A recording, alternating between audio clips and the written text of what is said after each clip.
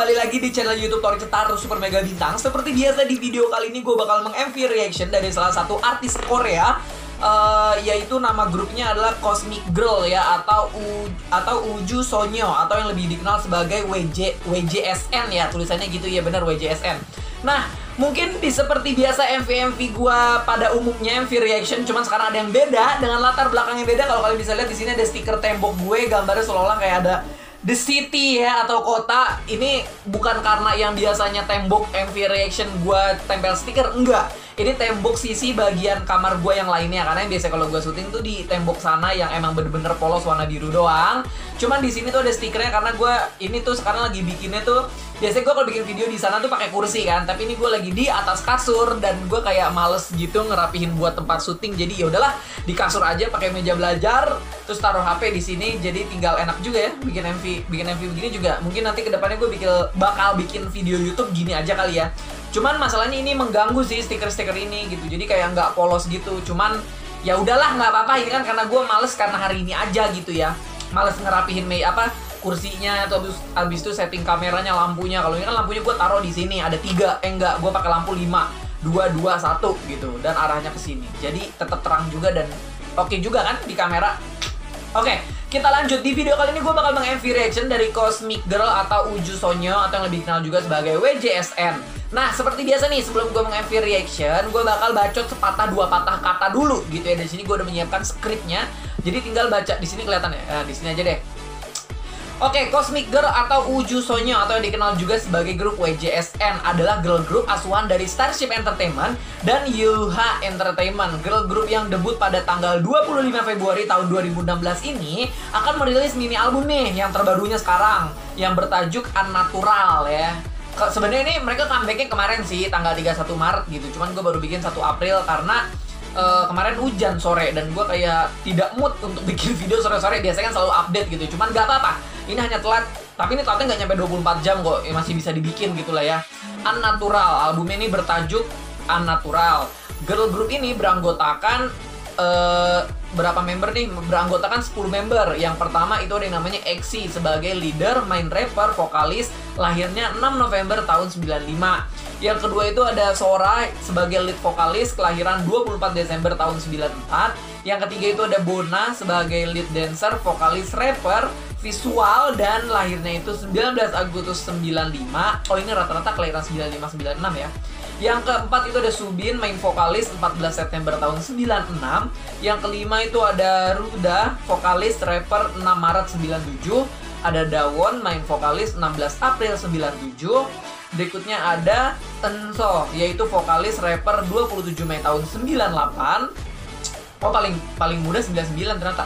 Terus berikutnya itu yang kedelapan ada Yorem, vokalis rapper lahirnya itu Januari eh lahirnya itu 10 Januari tahun 99. Terus berikutnya itu ada Dayong sebagai lead vokalis, lahirnya itu 14 Mei tahun 99. 14 Mei tahun 99 ya, berarti sama gue tuh beda beda pas banget satu tahun enggak sih? Beda pas banget 99 hari.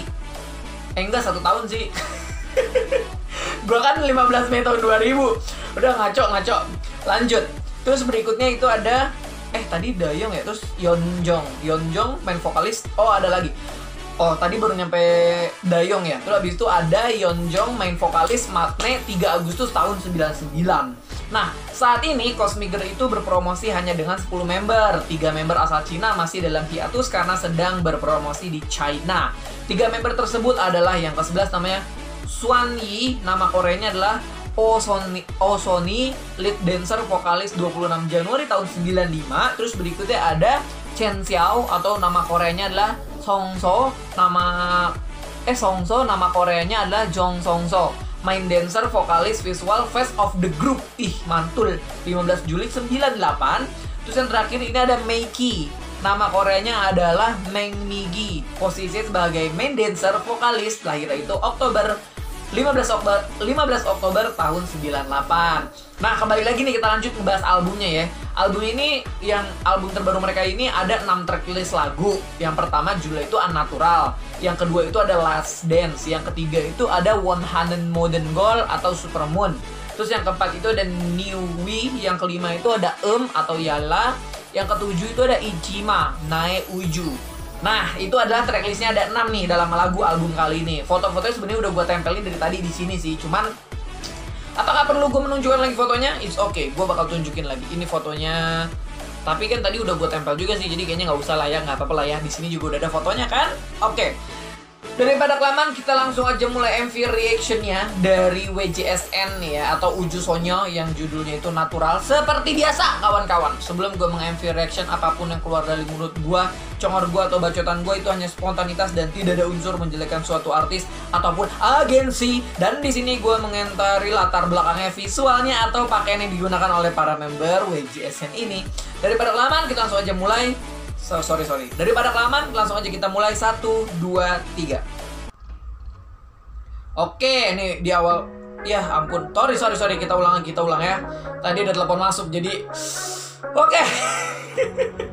Baru juga gue pengen tempel gambarnya di sini. Oke kita ulang ya tadi telepon, jadi otomatis kalau di YouTube tuh berhenti kan. Oke kita mulai di sekarang satu dua tiga. Oh. Ini temanya kayak drag drag drag gelap gitu gak sih? Ini HP-nya gue taruh di sini aja ya. Jadi biar ngeliatnya enak ke bawah. Ternyata tidak bisa ditaruh. Oh bisa. Oh ini di dalam mic nih. Ini siapa ini? Oh itu bola-bola disco. Oh temanya sekarang putih-putih emas. Oh gitu cuy. Goyangannya cuy. Itu namanya kejut-kejut Oh, tadi hitam nih sekarang putih. Ini dikejebak di dalam ruang kaca gitu. Oh, pink. Ganti lagi sekarang outfit-outfitnya. Oh, jadi center pusat kamera tuh pembawa berita jangan-jangan dia. Oh, ini desainer nih, banyak patung-patung kayaknya. Iya kan?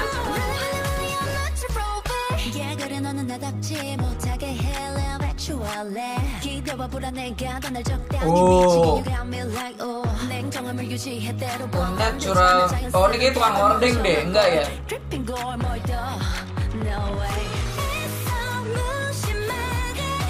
Oh, disco tuh kan. Banyak menekin-menekin. Tahu nggak menekin? Patung. Oh. Ah temanya nih white white gold ini black white gitu ya. Nah oh berarti ini WJSN ini banyak juga ya. 13 orang. 13 orang. Tiganya member China. Oh ini, ini lampu nih di kebun-kebun ya kan? Unnatural jadi aja unnatural jadi nggak usah natural natural gitu unnatural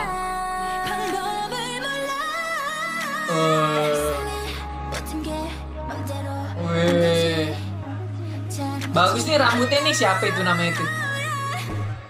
Tadi yang yang visual tadi siapa ya namanya gue lupa kan ah. Boleh juga gitu ya. Oh, ini dia pembawa berita kali ya. Banyak kamera-kamera, ada teleprompter.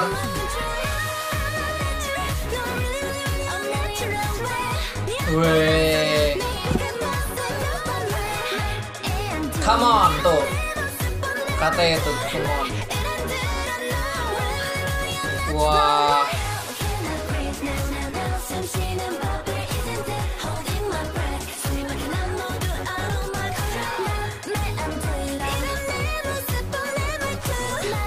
Iya nih bener nih. Kalau gue ya, gue tuh entah kenapa lebih suka musik video itu yang tidak berkonsep gitu loh. Kayak macem, bukan tidak berkonsep itu dalam artian nggak ada jalan cerita gitu loh kan ada MV Korea oh, MV Korea tuh jalan cerita ya kayak misalkan dia ditinggalin pacarnya atau dia ini dia itu. Kadang mikirin teorinya ribet gitu kayak gini aja boleh bagus. Konsepnya tidak usah yang bercerita gitu. Oke. Anatural. Kayak suara mesin fotokopi terakhirnya Oke, gue baru selesai menonton MV dari WJSN yang judulnya Unnatural. Seperti biasa, MV Korea mana pun itu bagus, tidak ada yang jelek. Mungkin hanya kesalahan dalam proses editing video.